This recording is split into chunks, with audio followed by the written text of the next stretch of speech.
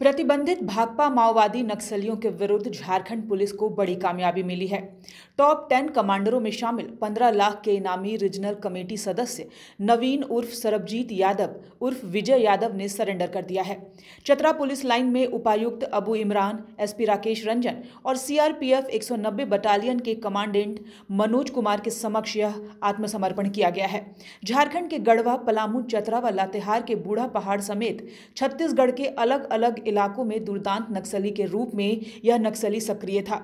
हत्या, आगजनी, लूट, अवैध हथियार रखने समेत छह दर्जन से अधिक मामले इस पर दर्ज थे। और इन पूरे मामलों में विभिन्न राज्यों की पुलिस इसे तलाश रही थी।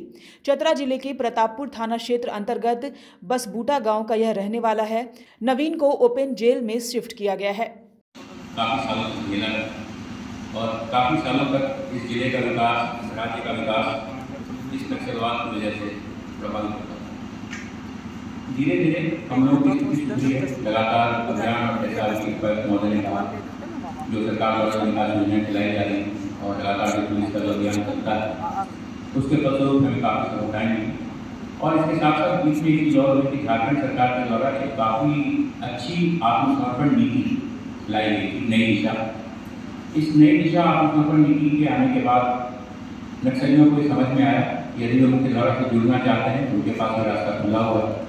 पुलिस भी लगातार उनके परिवारजनों के माध्यम से उनसे अनुरोध करती रही, मीडिया के माध्यम से, आप सभी के माध्यम से अनुरोध करता रहा। और समय समय पर कई शीर्ष नक्सलियों ने आत्मसमर्पण नहीं किया।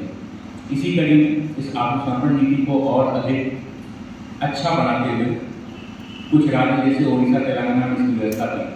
हम लोगों ने ये व्यवस्था की है कि अब ओपन जेल जाने में जो समय लगता था, वो समय बिल्कुल कुछ ही घंटों का लग जाएगा किसी आदमी के के और वो जैसे ही आएँगे उनको ओपन जेल भेजने की सुविधा जो है वो उपलब्ध कर दी जाएगी इसका परिणाम ये हुआ कि भाकपा माओवादी के झारखंड राज्य के टॉप कमांडर्स में से एक रीजनल कमेटी सदस्य नवीन और सरबजीत यादव, जो बूढ़ा पहाड़ चक्रबंधा चतरा, पलामू, गया बॉर्डर इन सभी क्षेत्र में कई सालों तक एक्टिव रहा और विगत दस वर्षों से भी अधिक समय से नक्सलवाद संगठन से जुड़ा हुआ था।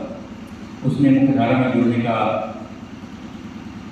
की इच्छा जारी की और हम लोगों ने उसको मुख्य धारा में लेकर आए और इन्हें जो भी पुनर्वास पैकेज होता है आत्मसमरण नीति के जो भी फैसिलिटीज़ हैं, वो सभी इनको मुहैया कराई जाएँगी मैं इस अवसर पर जितने झारखंड राज्य में बचे हुए नक्सली हैं, चाहे वो किसी भी क्षेत्र में हो, किसी भी ज़िले में हो, उन सबों से मैं अपील करूँगा कि आप लोग कृपया झारखंड सरकार की जो आत्मसमर्पण नीति है, आप लोग उसको पढ़ें, उसको समझें और समझ कर समय रहते मुख्य धारा में लौट कर जाए।